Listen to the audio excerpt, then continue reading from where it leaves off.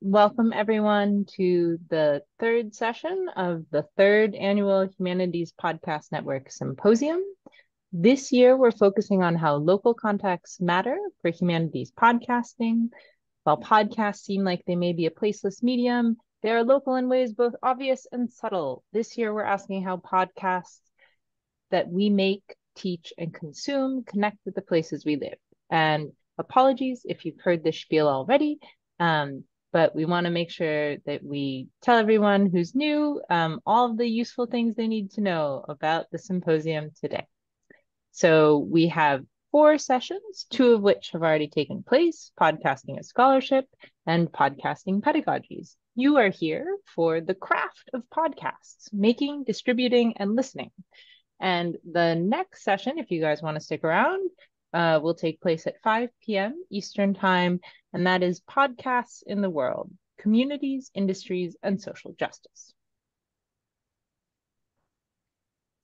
Hi, everyone. My name is Rebecca. I'm another one of the HPN organizers. And just so you're aware, each session meets for one hour right here in the Zoom room. We have four total. This is number three, focusing on craft.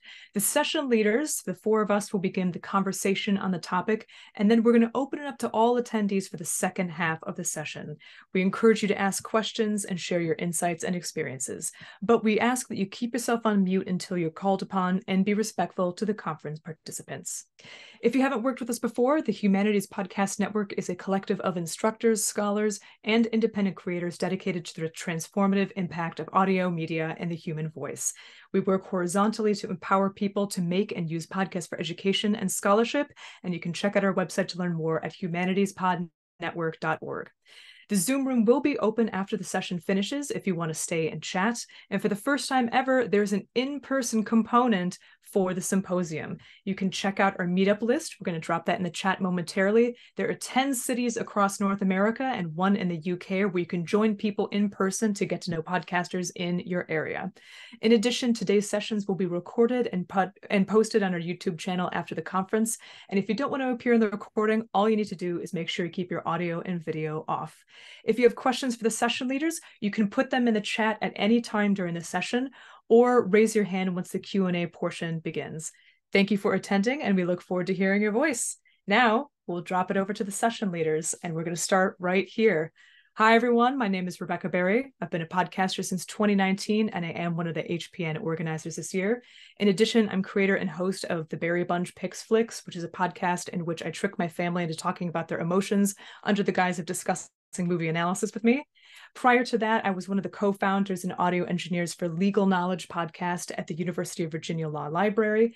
And I also served as assistant producer on Democracy in Danger podcast for UVA's Karsh Institute of Democracy, for which our team won a Webby this past spring, which was very exciting.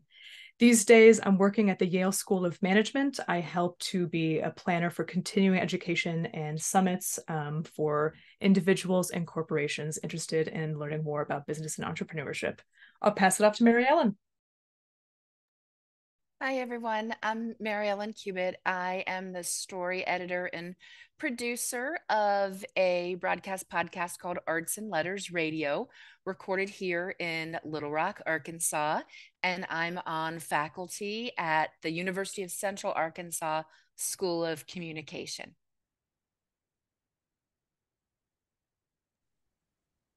Hi, everybody. I'm very delighted to be here. My name is Jim Ambuske. I am a historian and senior producer at R2 Studios, which is part of the Roy Rosenzweig Center for History and New Media at George Mason University. You can check us out at r2studios.org.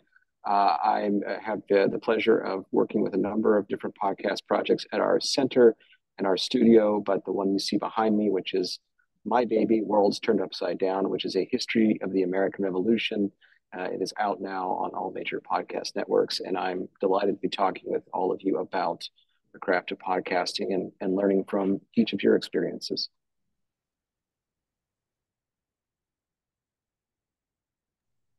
Uh, hi, I'm Nick Montgomery. Uh, I'm a, a, philosopher turned sound designer, um, and I founded the Pramana Language Lab, uh, which is just a my own kind of studio where we do podcasts and most audio projects. I work a lot in arts communities.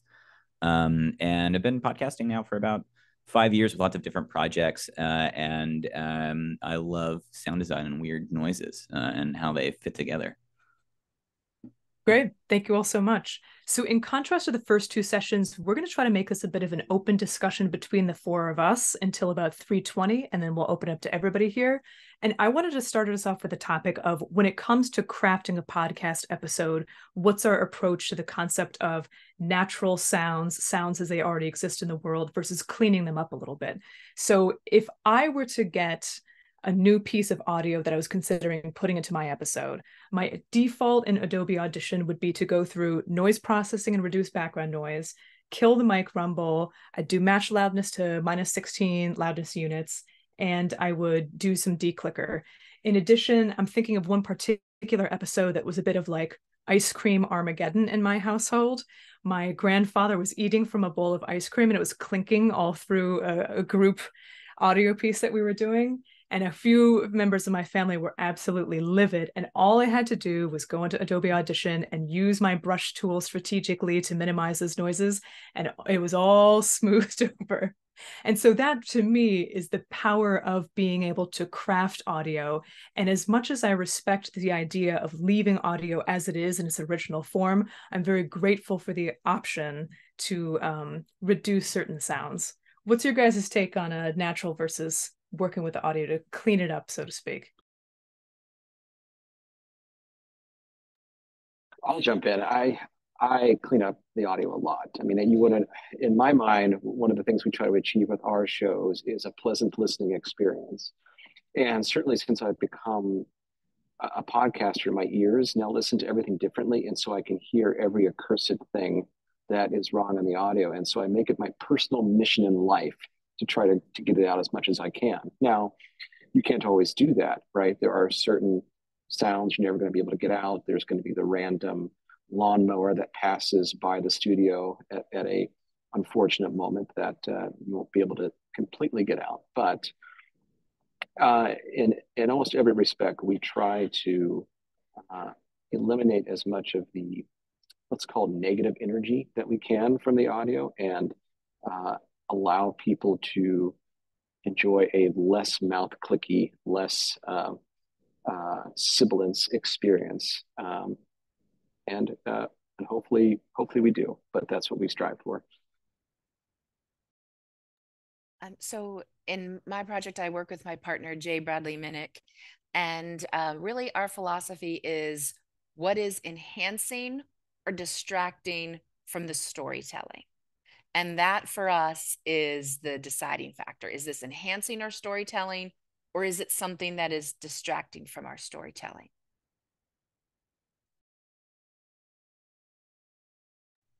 Uh, yeah, I think that's the nail on the head. Really is, um, and we may be confusing. Uh, let me be the philosopher here and go. We're, we're conflating our terms. Um, we may be confusing a couple of things, but when we talk about what an audio wave is and what a sound is, um, anyone who's uh, ventured into the um, depths of phenomenology knows that uh, individuating sounds is hard.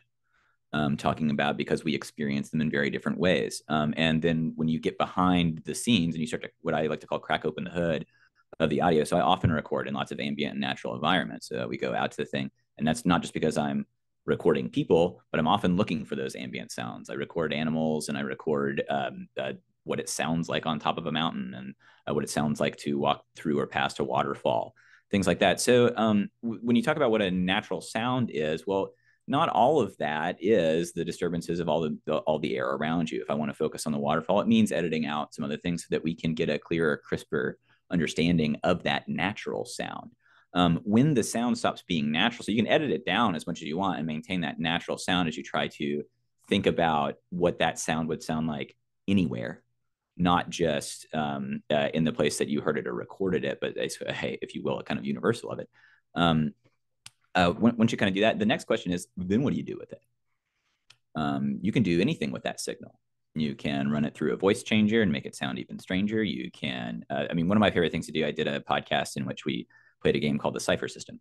Uh, and uh, it was a uh, it was a time travel thing and we all had dinosaur companions um, in this like role playing game so i used tons and tons of bird noises uh, to em- emulate the dinosaur sounds, and then I would, you know, warp those sounds very slightly to give them a kind of huskier or trillier sound, more frightening sound than some of your just your normal little hawk cry, uh, things like that. So that's certainly not a natural sound, and yet I was trying to emulate one. I was trying to think about what does the dinosaur sound like, um, and uh, and I just have that first that first. Um, uh, Jurassic Park to thank for that one, right? And they they have the little larynx and he blows through it. It's great.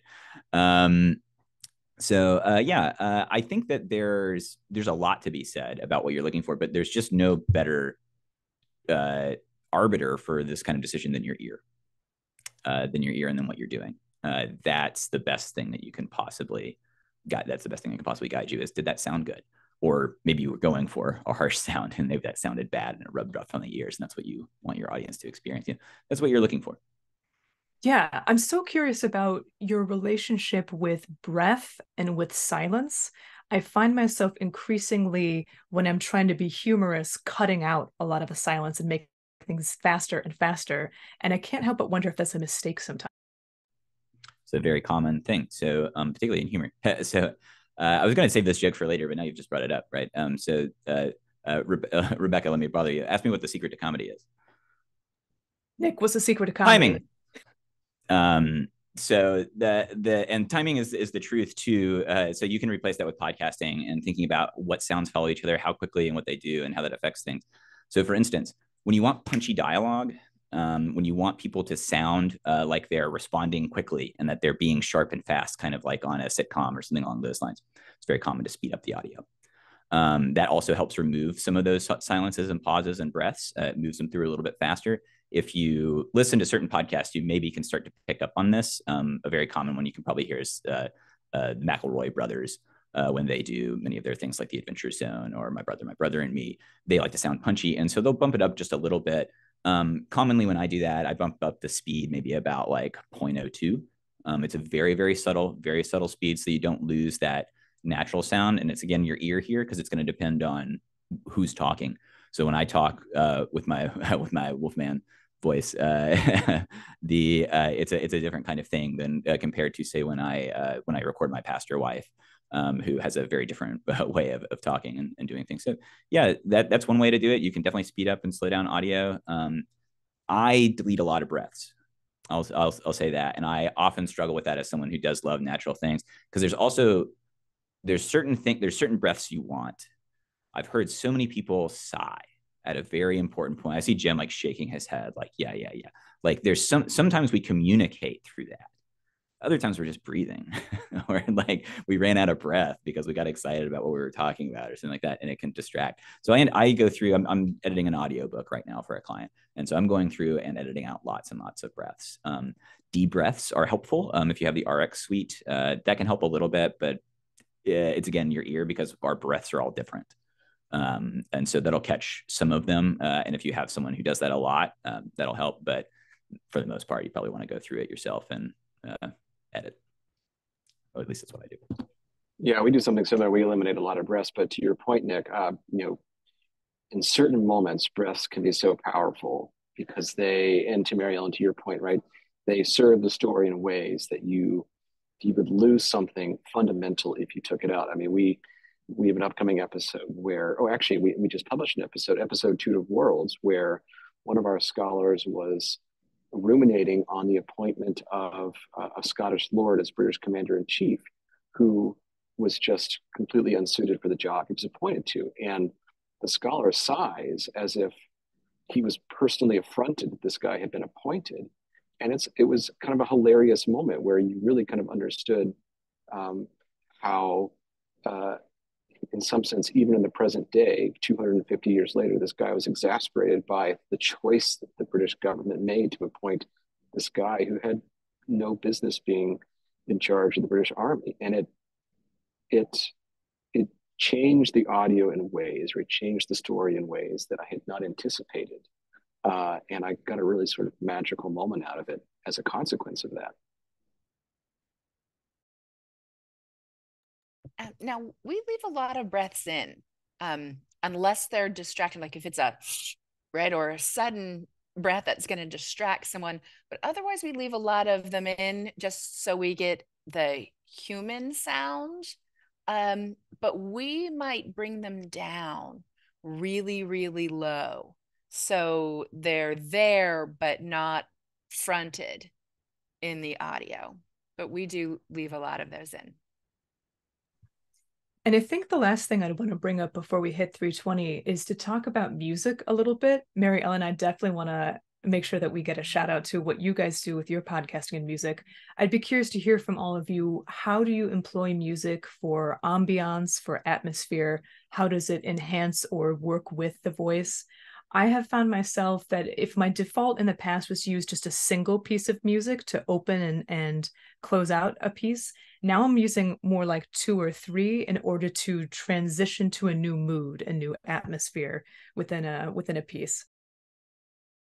Um, so um, we are in Arkansas now. In Arkansas, we're in the big city, Little Rock, but to the rest of the country, Little Rock is still very rural.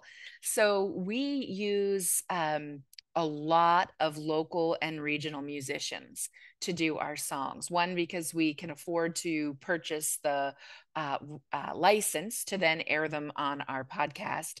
Um, but also because it gives our show a, a, it grounds it in a real authentic true sound of our community and um, you know that doesn't it's arkansas so that doesn't mean the music's gonna be all you know like banjos and thumping on a gut bucket right? Which is what people can think of when they think of arkansas. We use musicians of every genre blues jazz classical um, we'll bring in a cellist um, kind of all just is it mostly our our, our goal is uh, to have them here in uh, the central arkansas region. So it gives our show a really authentic feel.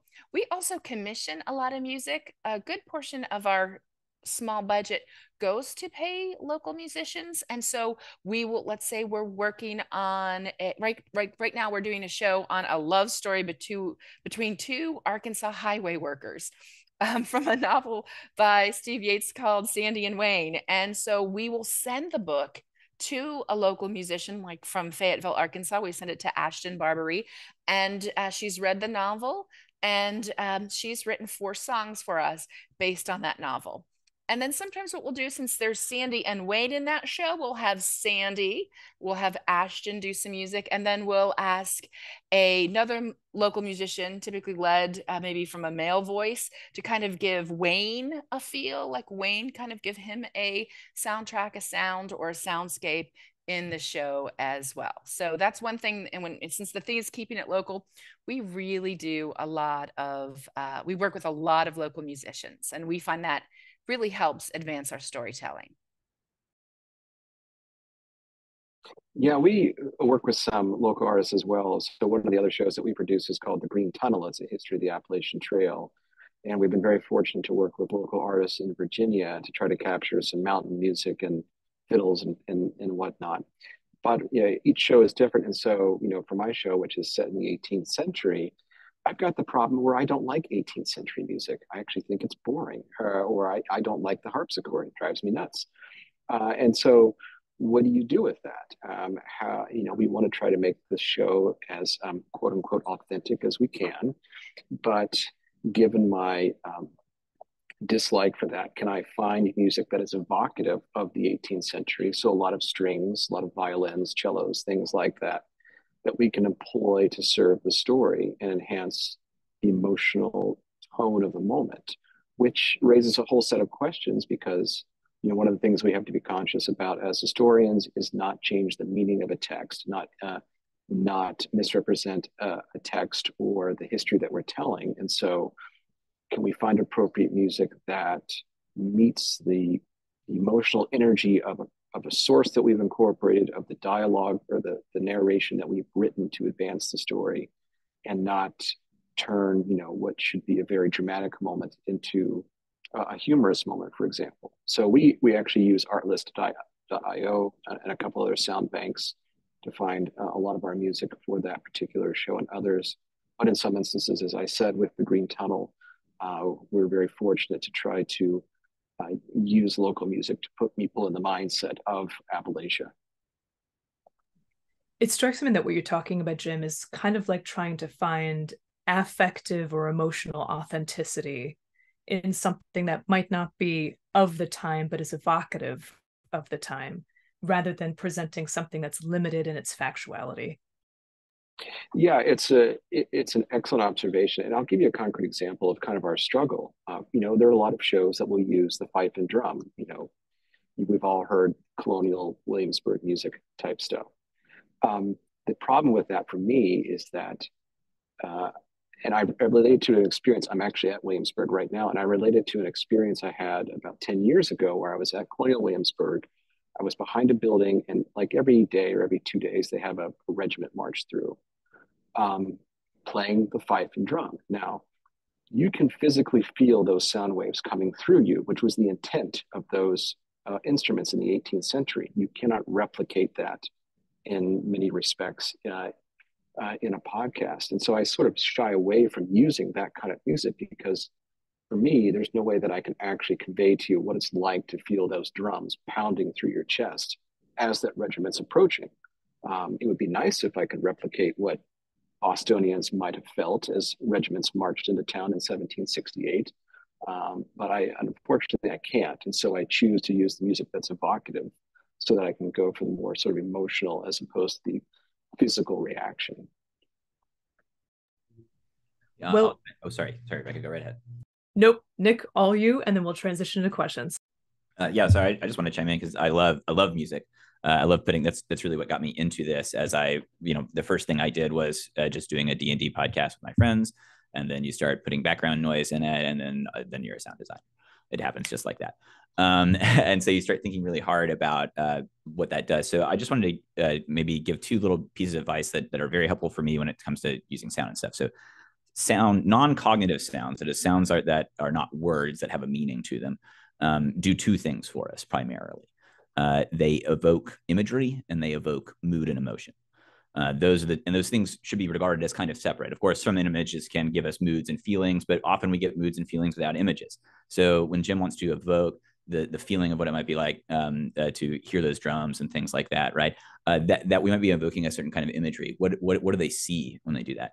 Um, and so when you make a script for your podcast, I strongly recommend that you make three columns, um, and that you have the original. Um, whatever your script is, we can talk more about what that script is, whether that's a transcript from your interviews, whether it's something you scripted ahead of time.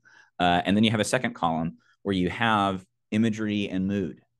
And as you read through your script, you have to think about what do you want your audience to think and feel in these cases? What do you want these two words, or what do you want these words to go with?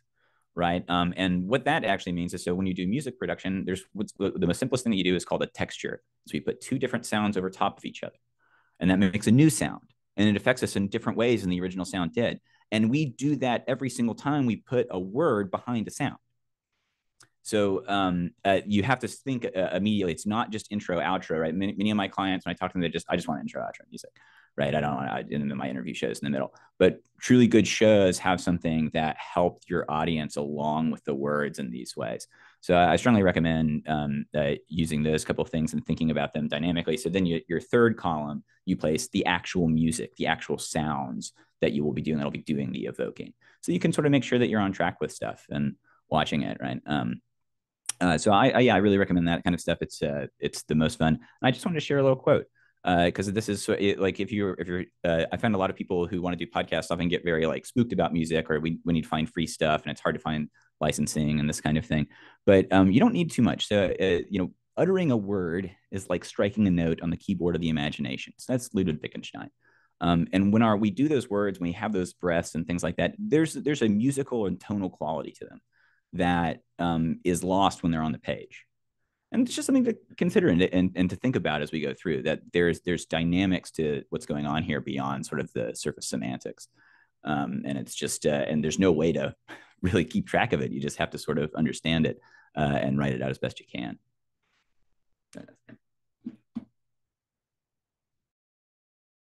Well, uh, with that, I think we're ready to transition into Q and A. Nick, I had promised that you get the first dibs on the first question. So if you'd like to scroll through the chat, or if there's anybody in the audience that wants to raise their hand and unmute and ask a question, feel free to do so now. You know what? Let's um just because I saw it's like the first question and I got like a thousand uh, thumbs up. Let's um, yes, I saw it uh, appear. So with the amount of editing for breath and sound pauses, this is uh, Daniel Dissinger, uh, uh, for breath and sound pauses, what is your release schedule and how long does it take you to edit an episode? I'm the sole editor of my podcast and I have went from doing a lot of editing to basically almost none. Yeah, um, and so I, I, would say one of the best things that you can do if you have a schedule of those things is that you break these pieces apart. I'm I'm I'm the sole editor for many shows uh, that my clients do, and, and, that I do my own stuff on the side. I produce serially uh, because ain't, ain't nobody got time for that. So um, I just wanted to, but this is my advice. This is the advice I give to all clients and, and anyone who's doing this. And this is just you have to do it. You have to do this, or life will burn you out. Bank four. If you have an idea and you think that this can be a real podcast, bank four episodes. Don't post them, don't publish them, finish them, listen to them, and then publish them on your basis for either a week or a biweekly basis or even a monthly basis. Then you have breathing room. Then you have you know what it takes to make a production schedule, and now you have a whole month banked. Um, and so then when life comes up, and like you know grandma slips and falls and you've got to take her to the hospital that weekend, you still got an episode to go and you've got a little, you've got grace for yourself. Um, if that's the kind of schedule you're looking for. Um, uh, Rebecca notes that with her with her podcast and similar to the kinds of things that if you do them serially, it might take you a very long time. You say about nine months per episode. Yeah, I mean, if you're doing local recording and you've got to get lots of different found material and you're splicing that together, be ready for it to take a long time. It's okay. Um, uh, your project's worth it uh, you know, uh, so uh, we and we can talk a little bit more about. Um, I think the there's definitely a big push right among Spotify and other platforms to be like you need to be releasing weekly, you need to be releasing regularly, you need to be engaging in these very particular ways, and that's I mean uh, that's a false narrative, but maybe we can save that for another kind of thing. Um, so the main thing is that you feel comfortable and healthy, making sure that you can get it out. So I, and then, yeah, if you're doing all of that work, I would say if you have your presets together and you're doing a, th- a three minute to or 30 minute to 50 minute episode, I typically don't take more uh, than an hour if I've got that episode marked and with a good script uh, to be able to go through it uh, with plug-in help and that kind of thing. Um, that's, that's typically about what it works at. But again, that's like practice and having everything set and ready to go when you sit down. I love the bank four idea. I banked three of the episodes in Barry Bunch Picks Flicks, and I needed every single one of those weeks yeah. to get the next two in shape. So that's a great idea. Yeah. I'm curious to hear Jim and Mary Ellen's take on this question because I think you guys have a team now. So it's not one person doing all the editing by themselves, right? How do you avoid burnout and how do you find that that assists in cutting down certain time or freeing up some time to do other tasks to prepare your episode?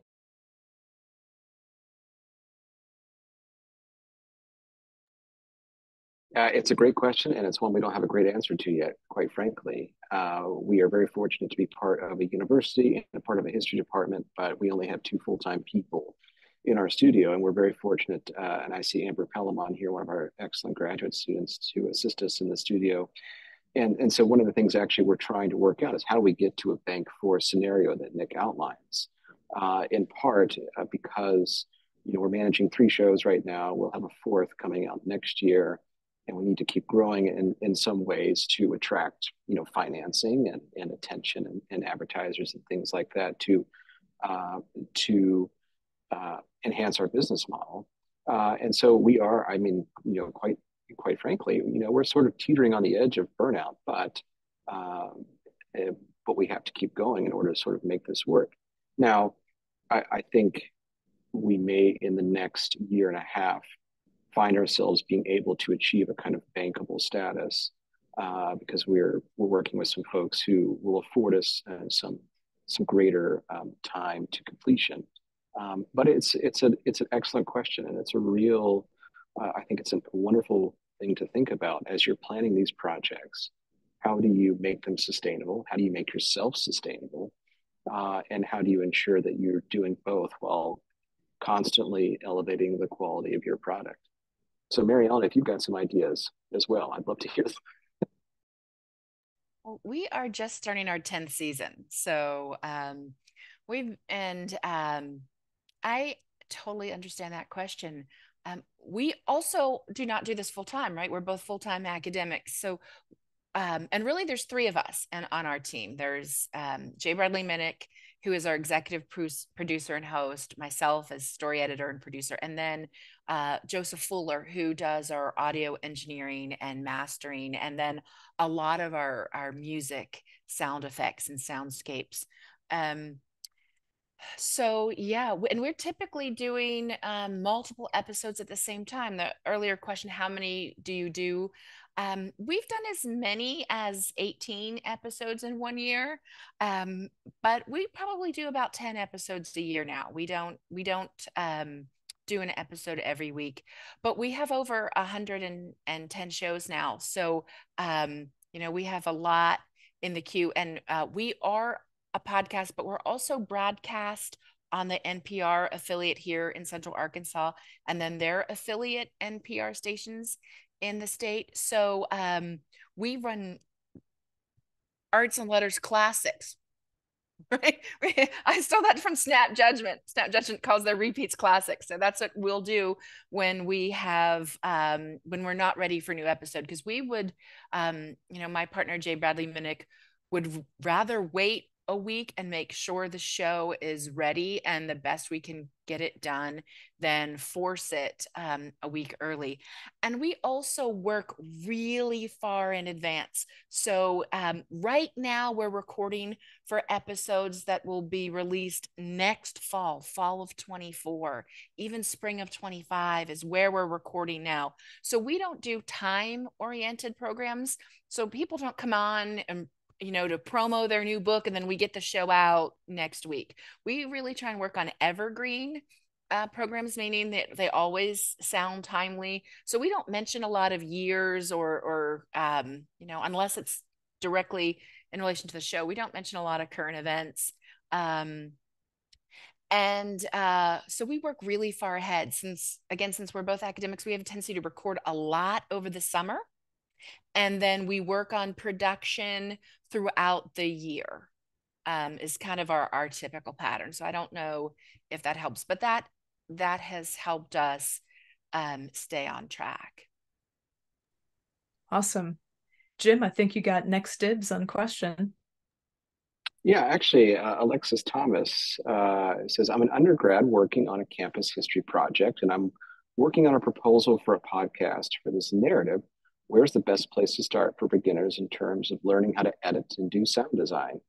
Uh, which is a terrific question and also uh, good for you, Alexis, in, in getting involved uh, as an undergraduate. That's uh, very exciting, I think, uh, for those of us who work in this field and thinking about the next generation. And I guess I'll take a first stab. I mean, one of the things that really helped me when I was uh, starting in 2019 uh, and I was started out at George Washington's Mount Vernon. I was hired in part to host their podcast and had some editing help, and then suddenly did not have editing help.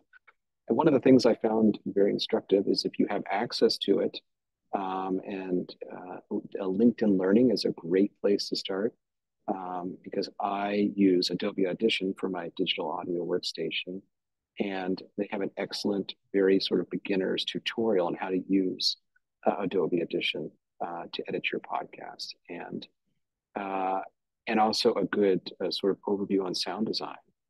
But then YouTube has also been my friend. Uh, besides colleagues, uh, if I have a, a problem I don't quite understand, if I if I Google it, uh, inevitably somebody has a quick YouTube um, video that will show me how to do something. But I think, you know, at least for me, starting out is a great place with, with those LinkedIn learning courses. And I would say, Alexis, if you're somebody who learns best by being with other people, more and more there are college and university campuses in which there are learn how to podcast courses taught by professors and professors who want interns and other people to help them make their own podcast. So some of it's going to be pick it up as you go. And I would also say that you should see if your college has a media center. Just ask a librarian; they would know if they have one. And I think um, Nick can probably speak to this, but often colleges have amazing studios and resources that just kind of go unused. So if you ask about that, I'm sure they would be delighted to help you. And your local library as well. Many local libraries have fantastic sound studios and even can rent some equipment and stuff to you. Um, I wonder if the student wants to maybe even just chime in and say what would they have available? Like, because uh, I, I want to echo Jim very quickly that that YouTube's your friend. Like, most of the DAWs, most that's a digital audio workstation, most of the editing platforms that you'll use have very large communities in which they are friendly and they help each other. So I learned on Reaper. Um, I got sick of Audacity too quick, and Reaper's been great. It's definitely not super user friendly out of the box, but what is is the community that is like, hey, hey, bro, hey, King, like let's let's help you out, and like tons and tons of anything that you want to figure out for YouTube. Uh, so whatever DAW or platform you're using, as long as it's um, maybe not one of the more recent ones, if it's been around for a little bit, just YouTube it, Reddit it, look online. These so someone's had your problem before, and they want to help you. Yeah, Alexis, are you here and able to unmute and talk to us a little bit more about what project you have in mind? Yeah, sure. Um, hello, I'm Alexis Thomas. Uh, I go to Clemson University, and I think some of you guys um, might know my advisor, Dr. Sarah Collini, who went to um, George Mason. Um, so we're working on um, a project on Clemson. There's a, a cemetery on campus, and we just discovered over 500 unmarked graves of African American and formerly enslaved people. Um, and so I'm the undergraduate research assistant, and right now we're working on creating a proposal for um, a podcast to tell that narrative. So any other advice you guys might have would be really great. Alexis, I've got, I, am, I don't know if you came in, but I posted uh, a couple of things right at the beginning of the chat that are two documents that may be useful to you.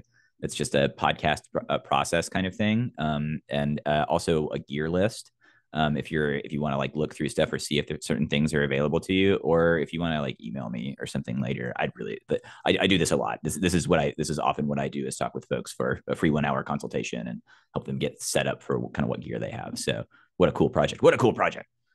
Great thank you.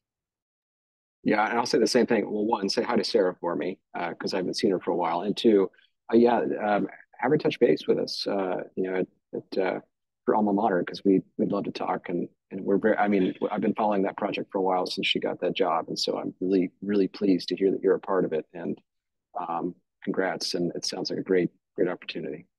Yeah. Thank and, you and, so much. I really appreciate it. yeah for sure. In case this isn't clear from what jim and nick are saying they think it's an amazing idea for a podcast you should absolutely pursue this.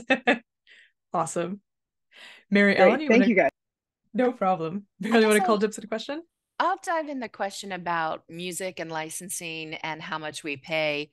Um, now we work on a very small budget. We're not flush with cash. So we that's a conversation and a negotiation that we have with each artist. And I will leave it at it really depends on the market in your area. So obviously um, paying a musician in LA or Chicago or Miami is going to be on a much different scale than paying a musician from Malvern, Arkansas. Um, so no, there is that factor. And then we pay per song if the song is already produced and cut, and we're going to use it, it for uh, you know 15 seconds or or from from like 15 to maybe 40 seconds. We have one rate that will pay for that. We do pay for someone to write a song for us. We pay then per song and then they give us license to use it in that program and in all the program promotions and then any affiliated program that might refer back to that one across all platforms. Um, we have that language in there. Um, to answer the question, yes, there are sample contracts out there. You can look to if you're looking for some music rates and in general, um, freelance rates through AIR AIR is the um, Independents in Radio. It's kind of like a public media independent producer professional organization. They are very, very helpful with some of their resources and especially in national standards of what to pay someone for mixing, what to pay for someone for mastering, what to pay, how, you know, how much should you pay for tape syncs, that kind of thing. So we use that. Um, so I hate to give you a dollar amount, but um, you know, you can think of about $800 depending upon um, what they're doing. We'll even sometimes pay people for sound effects if we're looking for sound effects or a certain soundscape. And it, so it depends how much. Two sound effects or three sound effects might be $150 if it's just some small sound effects. So it, it depends on um, what you're asking to do, how much time it will take them. And then um, to, one thing to note we do not own the copyright to those songs. We just license the use for it. So that is something very so even if we ask a musician to write music for us the musician still maintains the ownership of that song and they do just license us to use it. Now we also do not pay royalties so that is known upfront um, because we're not the kind of show that has royalties to distribute. So uh, that's something we also know it's a one time fee only for uh, working with us. I am interested in this question from Kara about how do we market our podcast and have any of us tried doing paid social media campaigns and did we find that it helped anything? And um, does anybody have experience being part of a podcast network?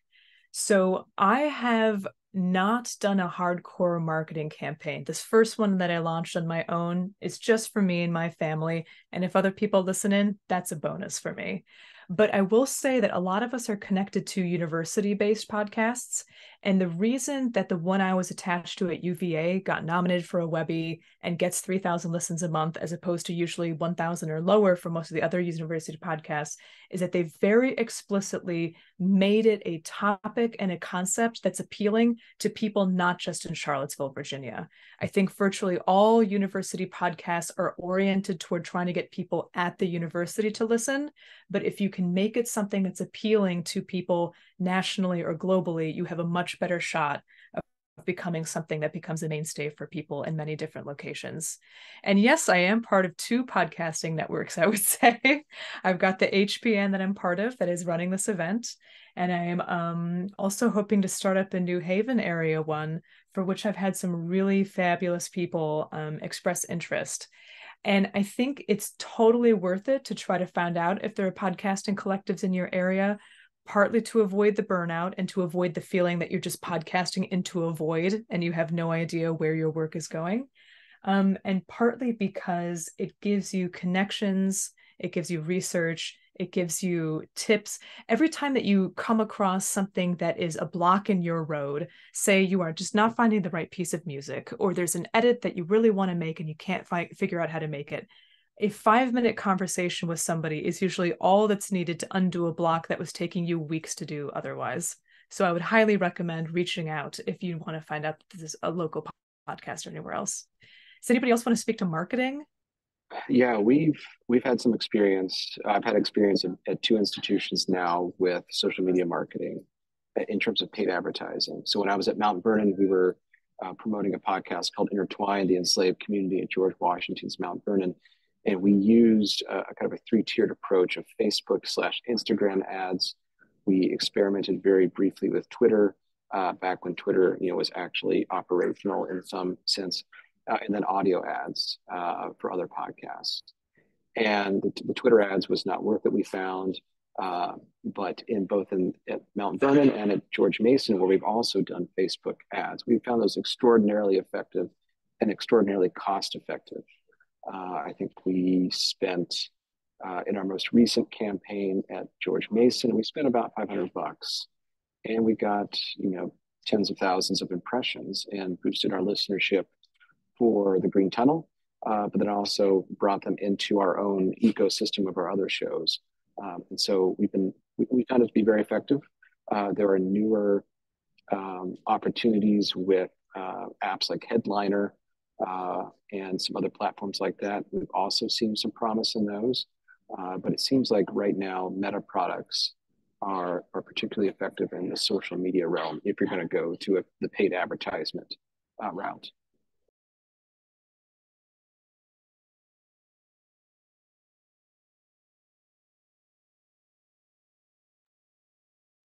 Ulrich, we would love to hear your question.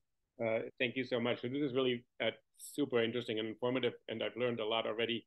So I have two podcasts, and one has, I think, I don't count 180 episodes, which is an enormous amount of content. I have no funding for it at all, although I'm at New York University. One would think pretty big place. And I just wanted to say two things. First of all, on the network, my podcast is hosted by the New Books Network, uh, which has totally been a super successful partnership. I just give it to them, and it has enormous amounts of listeners because they have a lot of followers. I don't have to do anything. My other podcast, I have another podcast that get got picked up by Hark Media, which is commercial. They promote it through Starbucks apps. Um, yay, I think it's really great. They found me, they contacted me. I kind of said, fine, let's do this, but I don't look at the numbers. I actually do not live my life. And I stopped that to look at which episode went well. And I can tell you nonetheless, I'm kind of lying a little bit. I know which episodes do really well, but I don't really look at my numbers every week anymore. It's just, I think, a bad habit. And it actually is, in a way, not really what I'm doing it for. I'm not doing it just for quantity. And the other thing I wanted to say, sort of everybody who sort of talked earlier about editing, I really admire all these skills and I have practically none of them. And I also have no funding. So I've actually had to opt into what Daniel said that I put relatively little time into editing for sound, and partly because I have a conversation based podcast that's a natural conversation. And two things happen. First of all, content really trumps everything. So if the content is important and the guest is important, I think I can live with an audio quality that's fine, but that's really not gold standard at, by any means by any of what you're producing, which is really professional. I just can't do it because I don't have the money to do it to pay people. And secondly, I've also my podcast is a really different type of podcast. It's conversation based, and I have guests completely derail my entire preparation because they came up with one thing and we went in a totally different direction. And those were the most valuable to me because they talked about, I'll give you one example. I talked about Ralph Ellison, Invisible Man, and I wanted to hear all of this. And then John Callahan, who is a literary executive, talked to me about the first meeting he had with Ralph Ellison and Fanny Ellison in Harlem. And we spent a half an hour on that. And I felt I was recording an oral history of a moment in time, but I hadn't planned for that. It wasn't supposed to happen. But I learned a lot in doing literally an enormous amounts of interviews. I don't do interviews. I follow what they're saying, and then I say, "Can I go back to what you just said?" And can I go back to what you just said? Which is a really hard thing to do. You have to have a lot of familiarity with who these people are. I do an enormous amount of preparation, but once I'm in there, I kind of let them take the lead and say, "We're going in this direction." And I usually also, I'll just finish here. I usually ask when someone says something that seems very obvious to an academic or to a sort of an artist, and they say, well, this was when Simone de Beauvoir's book came out. It really sort of was the first wave of feminism. I say, Kate Stimpson, just for a moment, can you just tell me again what was first wave feminism? And when they double back on a on a word they used, two things happen. They feel comfortable that now they're talking about something they referenced, and otherwise people are a little bit apprehensive that I'm going to come with, with some super smart question that they have to now respond to on the on the spur of the moment. So they say, "Oh, he's referring to something I just said." I'm reflecting on myself, which is very different from I'm responding to that. But that all means I prepare a lot, but I don't really stick to a script. And then I can't spend that much time editing. All my time goes into preparation and making that guest feel comfortable. And that takes an enormous amount so I can reference their book. I read this, I do know this. Um, and the promotion part, social media, as I think Jim said, uh, paying paying any of the social media platforms hasn't worked at all. I think it's useless to be honest. I think to find your natural kind of connections through other people who are your listeners and your listeners, I think, are the drivers, the people who are engaging with it, who are responding, who are telling people about the podcast. Like all of us, I'm sure. All the podcasts I know is because I listen to this group. I'm part of this network. And people say, "Oh, this is a good podcast," and I write it down and then look it up, and that's it's word of mouth rather than a kind of um, social media presence. I think Professor Baer brings up a good point here in that. Uli or Ulrich, please. Uh, oh, okay. Well, many of us don't do humanities podcasting to make money. I mean, we're not in this as a con- commercial in- endeavor. We're not trying to, you know, sell our product. We're not trying to take our humanities podcast and, you know, pitch it to Gimlet or, you know, Audible or, or some of those big um, distribution uh, companies. Um, but there are some strategies that you can use to try not to spend your own money. And if you know people want to hang out in the chat afterward, we can talk about some of those. Like we we do operate on a small budget, but if you think about, you get money from three groups. You get money from the federal and state government. You get money from corporations and foundations, and then you get money from people. Those are the three kind of revenue sources for any kind of podcast. Um, now, I did see Daniel's note in there about the University of South Carolina wanting to own his podcast if they fund it. and that is a huge uh, discussion that would be really great to have as well and chat about this idea of like because we would say never let anybody own your work never let anybody own your rss feed except for you um, but um, yeah, those are some options. And uh, if you want, we can talk a little bit about how to find some small resources. If you're affiliated with a university um, and you want to get donations for your project from people in general, you can ask your university's development office to set you up a gift fund and then they'll put it on part of their online giving platform. That's what we do. And then when someone says they want to make a donation um, we send them the university uh, donation link to arts and letters radio gift fund. And i mean those are not huge donations but $100 here $500 here every now and then we'll get a thousand dollar gift. Those kind of things make huge differences in our budget but they're just small gifts from some people. So that's also something you can think of if you're affiliated with a nonprofit or with a university. Um, you can speak to their development office and maybe set yourself up a gift fund through um, that giving arm. And then they'll give you a digital link that you can then put out on social media and share with people who are interested in supporting your show.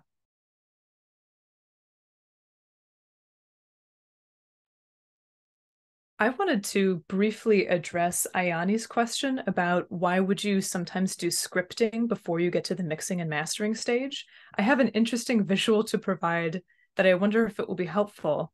So on the right hand of my screen here is the transcript from an episode that we did that was about 90 minutes and I had to cut it down to 45 minutes.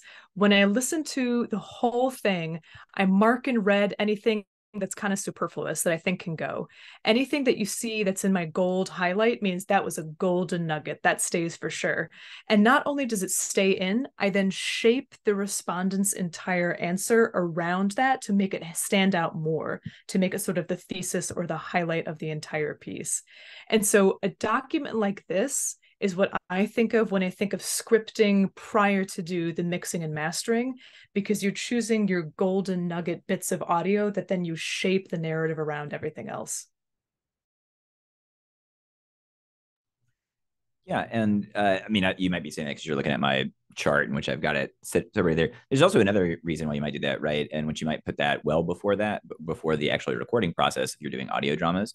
Uh, many of you will start a, a, script when you start making interview questions. Uh, just go ahead and put that in there and get ready to fill it in uh, with the script. So scripting is a process that goes through it. Why I strongly recommend that you have a script ready to go uh, prior to mixing and mastering is because that's your guide. Um, and I'm I'm over 35 and my, my brain doesn't work like it used to. Like you used to be able to keep a whole idea in your head and remember like, oh, I want the cool sound to go there and I want this to happen here. And it's just not doesn't work that way anymore. Um, so uh, it's really good to have a guide. It's really good to have something like that, and it also helps you think through things in a different way.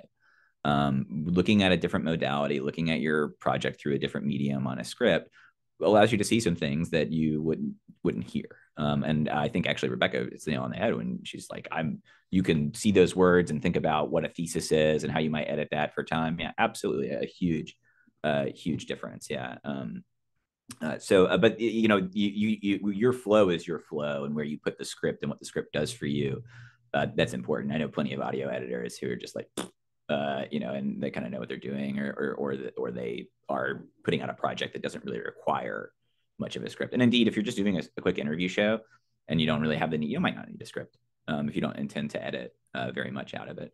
Um, I strongly recommend, as I put in there, that everybody just should have a transcriber at this point um, transcriptions are becoming such a very common uh, thing among podcasts and among this kind of medium. Uh, it's also a really easy way if you want to switch over and also have a YouTube channel at the same time. Uh, it's pretty easy just to throw up a graphic and then allow your transcriptions to roll through it so that that you know it's already podcasts are already great for accessibility and for helping people uh, who can't see or who maybe rely more on their ears. Um, you, now you can have both. right is is the idea um, and especially insofar as with the humanities network you might be interested in educational things it's a great idea. Great idea to transcribe, uh, even if you're not going to use it for a script. Um, yeah. Kim, did you have a question?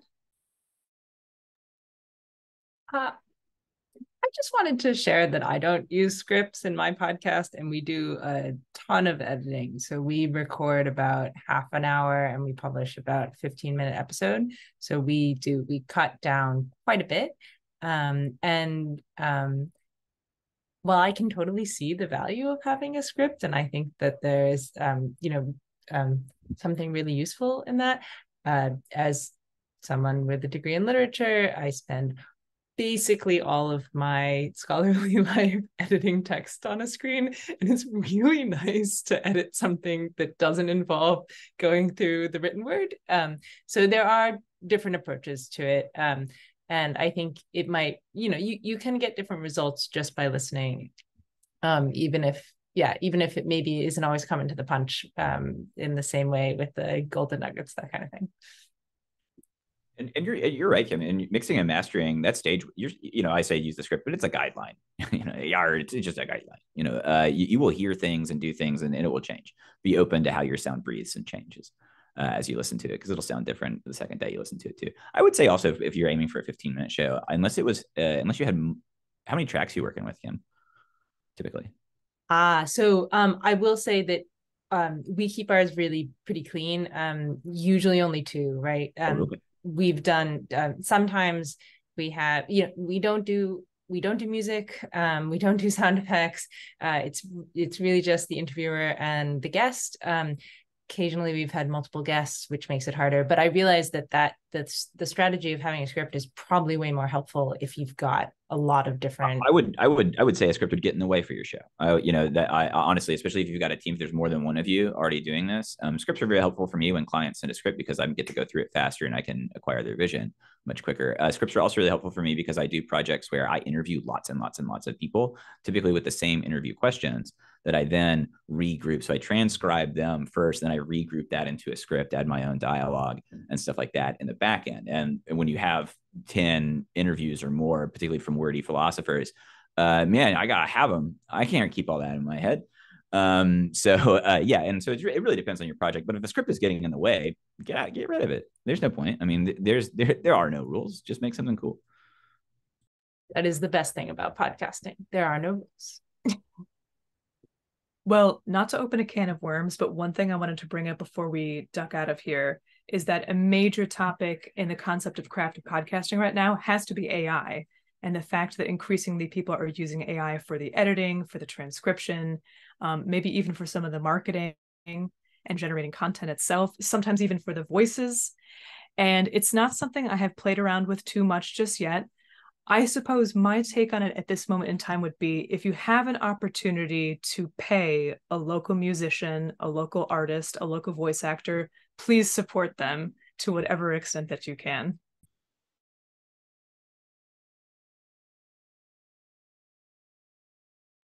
Yeah, great advice. Uh, using AI to fill in your guest's uh, speech that they didn't make is lazy podcasting. Uh, it's lazy academic work. It's lazy everything. Don't do that. Um, AI, as we already know, is is really really good at homogenizing everything. It's really really good at making it so it can take your voice and it can make you make it sound like you, but it will not capture the other things that you would know that we do, certain kinds of inflections, the things that make you interesting. It would not capture Jim those those beautiful sighs, those breaths that you need that convey emotion, uh, and that's what we're in the game for, man. Uh, like uh, so, anything that uh, decreases verbal diversity, uh, I'm, I'm against. Um, we want we want weird sounds. We want people talking in strange ways, um, and it's good for our brains because then it's like a puzzle, and we have to think about it and work it out, as opposed to uh, you know a, a, grammatically correct thing that uh, the the AI is going to spit out.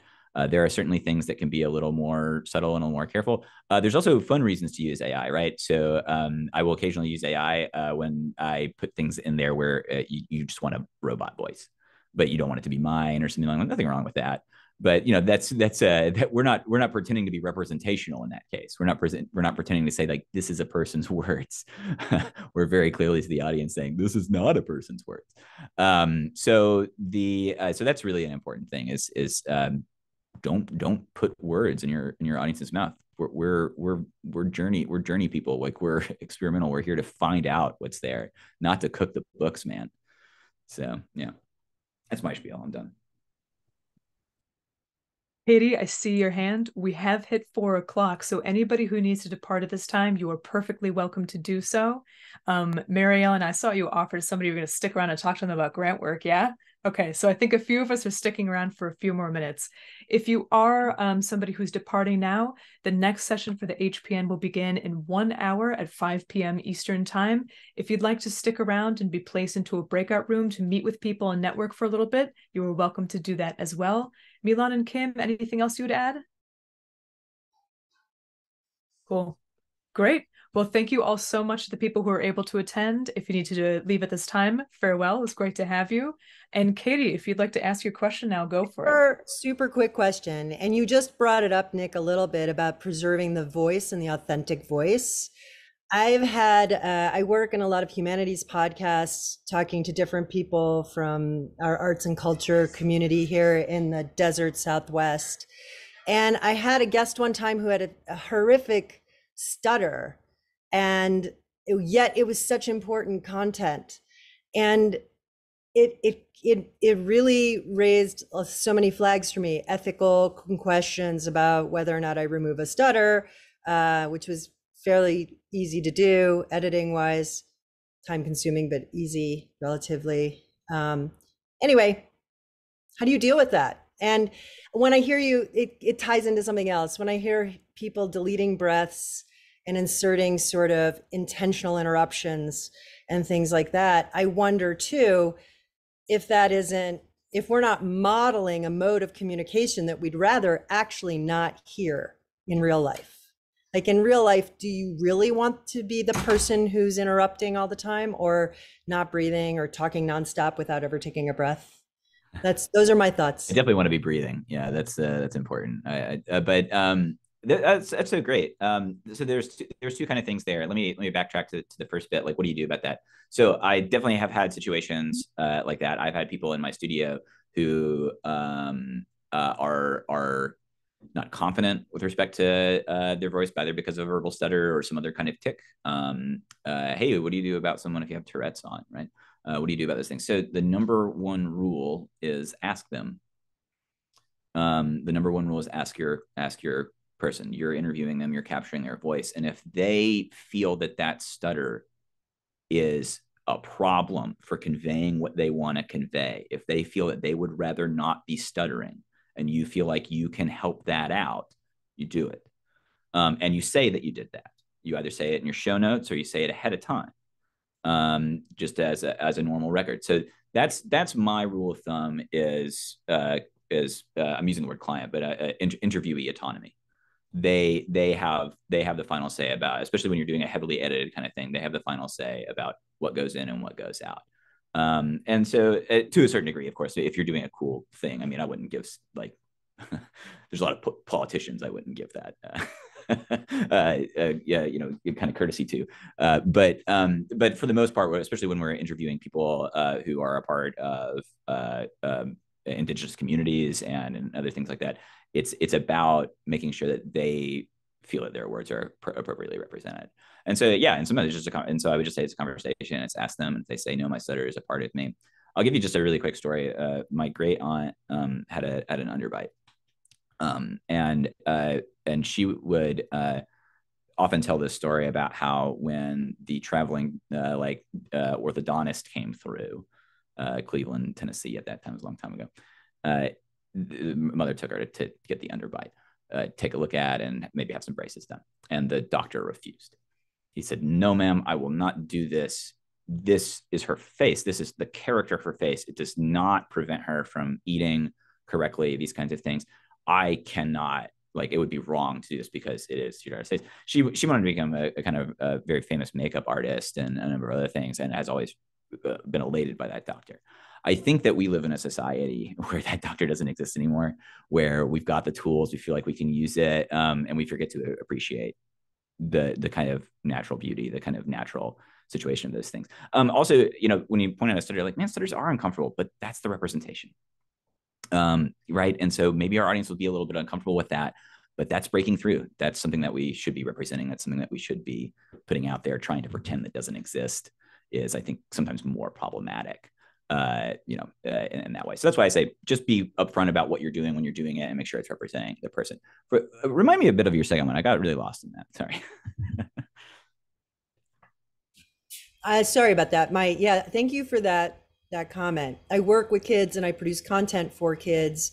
So really, my main concern is that we're comprehensible and um, and so because kids. But I also hear you about you know the kid with the stutter in the classroom would be delighted to hear someone like themselves but would it detract from the educational value? So i'm always considering first the educational um, mission of our work okay. If that's your mission. That's the right thing to consider. Like as i think as we've all sort of said what that's what your goal is if that's what your ear is attuned towards. You should do that. But I, I would recommend that you uh, children is, is a bit difficult because they're fully autonomous but uh you but yeah i mean you can uh, you, you, should you should ask you should talk. I, I, would say those kinds of things. But i mean if it's totally uh destroying the ability to make it comprehensible of course you got to change it. Yeah. Right.